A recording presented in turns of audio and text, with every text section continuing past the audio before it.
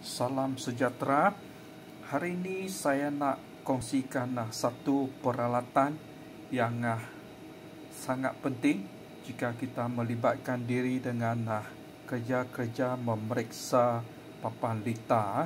Okay. So, tools ataupun peralatan yang saya maksudkan ialah kapasitor discharge tool. Okay.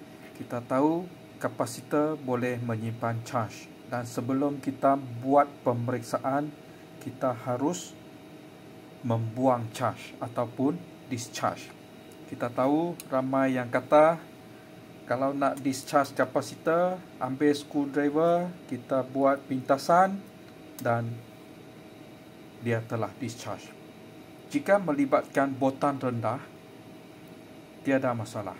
Tetapi jika melibatkan power supply unit ataupun PSU terutamanya kapasitor utama dia boleh menyimpan charge dengan botan sehingga kira-kira 380 kalau anda buat pintasan macam ni kemungkinan besar kapasitor boleh rosak dan satu lagi percikan api akan berlaku ha, ataupun spark ha.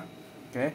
so bunyi percikan api itu tidak menyenangkan dan boleh menyebabkan kita trauma.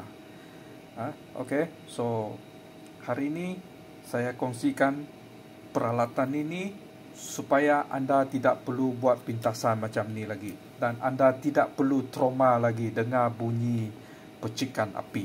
Okay, so komponen yang kita perlukan ialah sebiji perintang 3.3 kilo ohm 5 watt Okey, yang ni perlukan yang besar supaya dia tahan panas ha. Lepas tu 8 biji diode. Okey. Diode yang saya gunakan di sini ialah 1N4007 sebab dia boleh uh, menangani voltan sehingga 1000 volt. Jadi uh, tujuan saya buat uh, discharge tool ni ialah untuk membuang charge kapasitor utama terutamanya pada power supply unit ah. Okey. Sebab itu saya guna 4007 ha. Lepas tu sebiji perintang 1 kilo ohm dan uh, dua biji lampu LED. Okey. Tujuan saya sambungkan dua biji lampu LED secara bertentangan di sini ialah supaya kita tidak perlu risau mana satu positif, mana satu negatif. Sambung terbalik pun tak apa. Ha? Okey, nanti saya ceritakan ah. Okey. So, satu lagi tujuan saya simpan banyak-banyak diode ni ialah untuk menurunkan botan. Okey, turunkan botan. Okey, katakan ah, katakan. Saya guna terminal sebelah kiri ni saya sentuh pada kapasitor uh, terminal positif. Jadi kita tahu arus akan mengalir dari positif ke negatif. Jadi arus elektrik akan masuk dari sini dan melalui diode di bahagian atas. Dia tidak akan melalui di bahagian bawah sebab diode ni disambung bertentangan.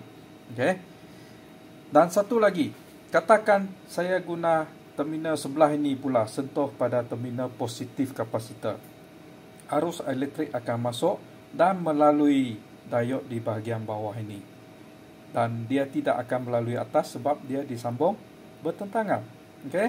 Ha, itu tujuan dia. Ha lagi banyak diode anda sambung, botan akan turun lebih banyak. Okey, itu tujuan dia.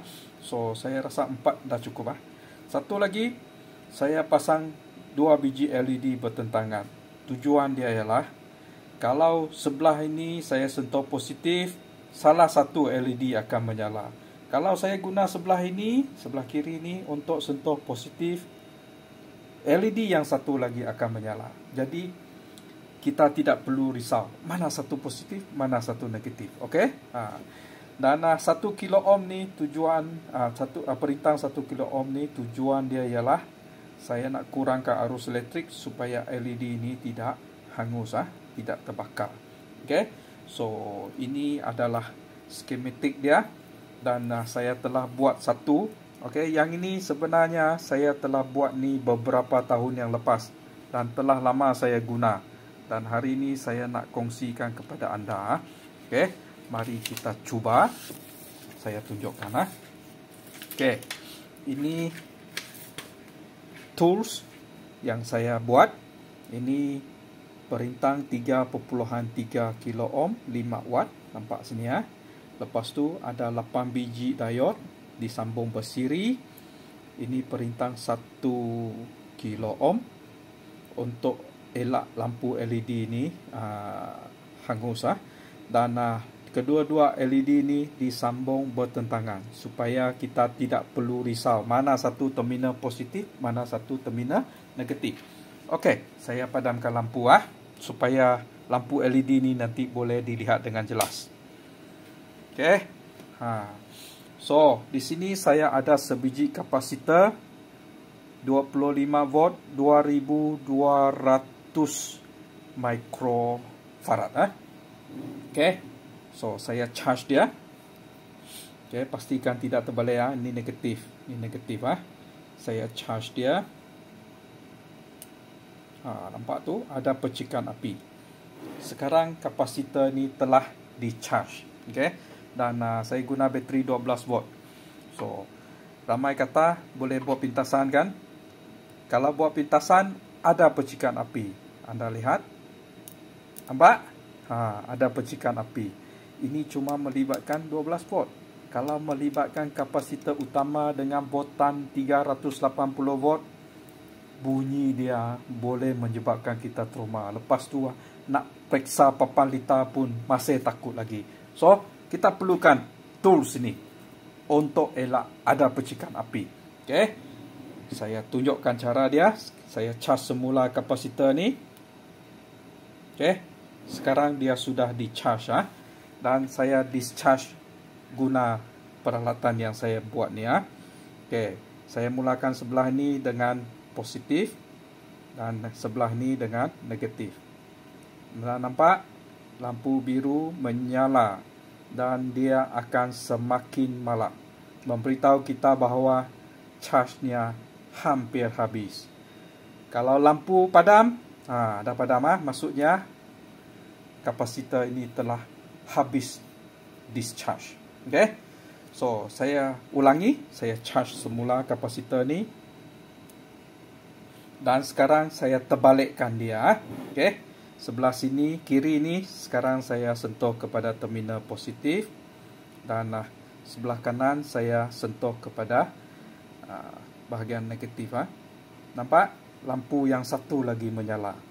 So, itulah tujuan saya sambung dua biji lampu LED bertentangan supaya kita tidak perlu risau mana satu positif mana satu negatif maksudnya okey ah ini dah padam ah so maksudnya kapasitor ini telah habis dibuang charge maksudnya anda tak perlu risau mana satu sentuh positif mana satu sentuh negatif anda sentuh terbalik lampu yang berlainan saja yang menyala ah. Okey? Itu saja tujuan dia. Jadi jika anda berminat dan anda tak nak lihat uh, percikan api berlaku ketika anda buat pintasan pada kapasitor anda bolehlah buat uh, uh, tools ini yang uh, saya telah guna. Kalau tidak silap saya buat ini tahun 2019 so sekarang 2022 hmm, dah 3 tahun lah okay? so salah satu kebaikan dia ialah tidak ada percikan api dan kita boleh tahu uh, dia telah habis discharge ataupun belum uh, melalui lampu LED ini. Dan satu lagi saya dah kata dari awal tadi, kalau kita buat pintasan macam ini, kadang-kadang kapasitor yang elok jadi tidak elok. So, uh, peralatan ini sangat baik uh, untuk kegunaan harian kita jika kita berminat dengan uh, bidang elektronik. Uh. Okey, boleh? Selamat mencuba.